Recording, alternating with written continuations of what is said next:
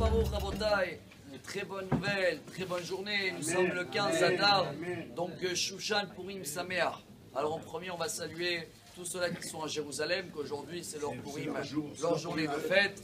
Sur le chemin, bien sûr, on va saluer tous les autres qui sont un peu dans tous les pays, hein, que c'est la France, la Suisse, Belgique, et qui reçoivent ces minutes d'Alaha.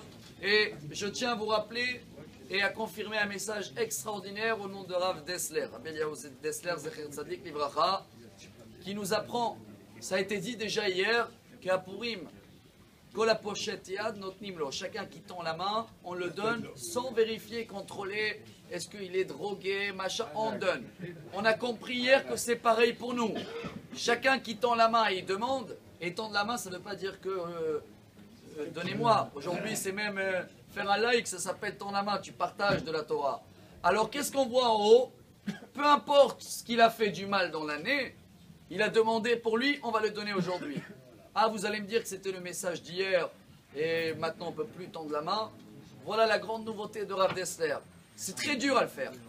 Il a dit si on arrive aujourd'hui à se mettre à la joie de cela de Jérusalem, peu importe où on est dans le monde, mais ça veut dire quoi se mettre à leur joie?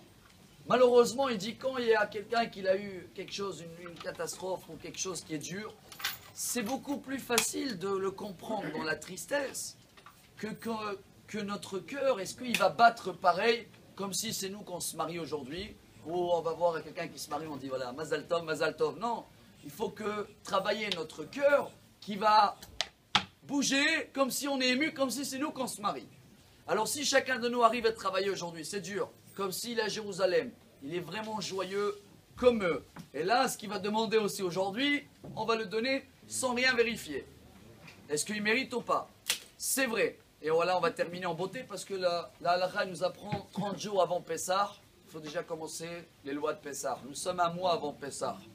Et quel, quel est le début de notre série qu'on va commencer à partir de maintenant parler euh, de Pessah? Pour arriver à un cœur qui sera joyeux dans la joie des autres, comprendre les problèmes des autres. Il faut travailler. Hier, on a chargé beaucoup du vin.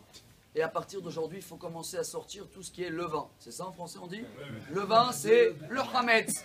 Et c'est un travail, c'est un travail jusqu'à hier ou aujourd'hui pour les gens de Jérusalem. On travaille pour détruire un ennemi qu'on connaît. Il était en Perse il y a 2300 ans, il est toujours en Perse. Mais à partir d'aujourd'hui, on travaille à déterminer l'ennemi, le levain d'intérieur. Et lui, plus on va le travailler jusqu'à Pessah, on va le détruire. Et plus on va pouvoir se mettre à la joie des autres et comprendre les autres. Et comme ça, Kadosh Baruch il va nous envoyer tout ce qu'on demande. Très bonne journée à tous et des bonnes nouvelles. Amar Rabbi Elazar, Amar Rabbi Hanina.